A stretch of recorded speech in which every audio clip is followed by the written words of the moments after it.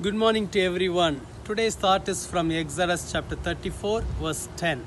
Uh, we are going to meditate this verse today and tomorrow. I am going to share with you the first part of this verse, but I want to read the uh, full verse for you. Exodus 34, verse 10.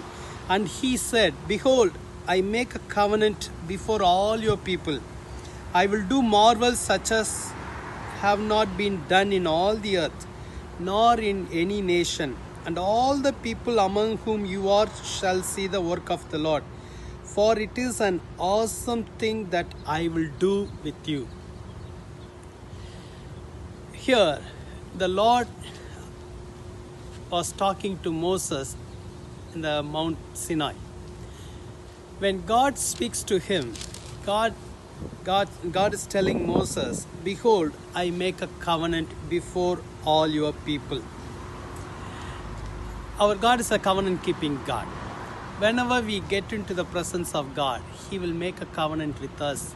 Sometimes He will remind His covenant to us.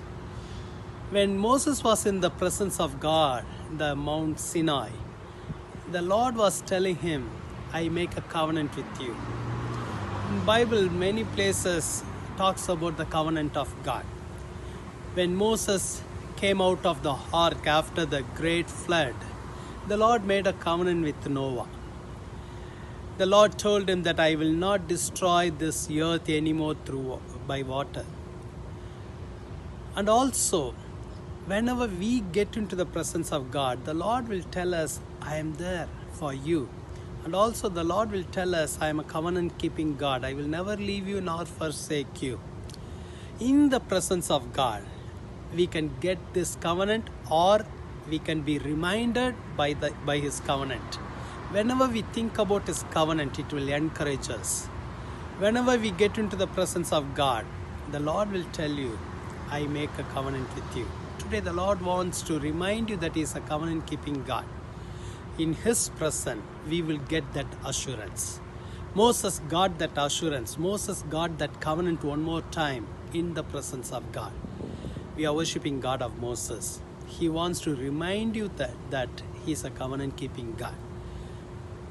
Maybe god made many covenant with you before but today the lord wants you to recall all those covenant. The lord wants to remind you all those covenant and he wants to tell you that i am a covenant keeping god. Amen. God loves you.